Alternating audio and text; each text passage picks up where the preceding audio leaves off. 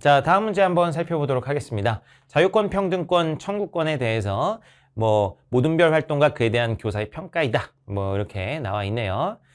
자, 그래가지고 활동 과제를 보시면 기본권 유형을 조사하고 관련 헌법 내용을 조사하세요. 뭐 이렇게 나와 있습니다. 그래서 뭐 각 모둠이 팟팟팟팟팟 이렇게 조사를 했어.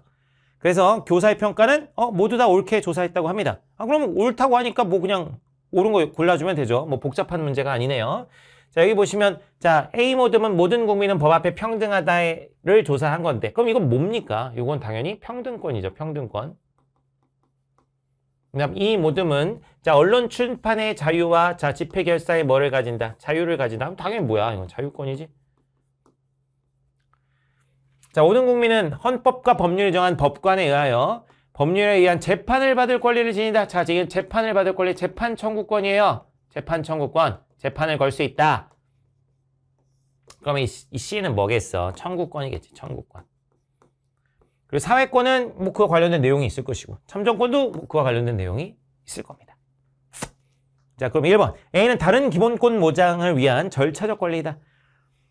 절차적 권리가 의미한 절차적 권리에 해당하는 건 뭐냐면은 어, 기본권 구제의 절차를 규정하고 있는 청구권이 그렇습니다. 청구권은 수단적 권리이자 절차적 권리. 근데 A는 평등권이죠.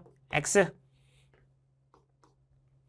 참고로 이, 이, 여러분 헷갈리는데 참고로 이제 평등권은 기본 다른 기본권 보장을 위한 기본권 보장의 전제 조건이라 그래요. 기본권 보장의 전제 조건. 인간은 평등하다는 걸 전제로 깔고서 이제 얘기하는 거죠. 그래서 평등권이 평등권은 전제 조건인데 절차적 권리나 수단적 권리라고 하면 뭐예요? 청구권이에요. 이거 좀 친구들이 가끔 헷갈려 하는데 주의 깊게 봐주시기 바랍니다. 자, 2번 B는 국가의 존재를 전제로 하는 권리이다 그러는데 자유권은 포괄적 권리라고 해가지고 어, 가장 본질적인 권리 중에 하나입니다. 그렇기 때문에 꼭 국가를 존재를 전제로 하는 권리가 아니에요. 국가의 존재를 전제로 하는 것은 어, 여기 청구권, 국가에게 청구하는 거니까 또 국가에게 인간답게 살 걸 요구하는 사회권, 참정권. 이, 왜냐하면 참정권은 국가의 정치에 참여하는 거니까. 그래서 청구권, 사회권, 참정권이 국가의 존재를 전제로 하는 것이지 뭐 이제 자유권은 국가의 존재를 전제로 하진 않습니다. 가장 본질적 권리이기 때문에 그래서 이것도 틀렸다.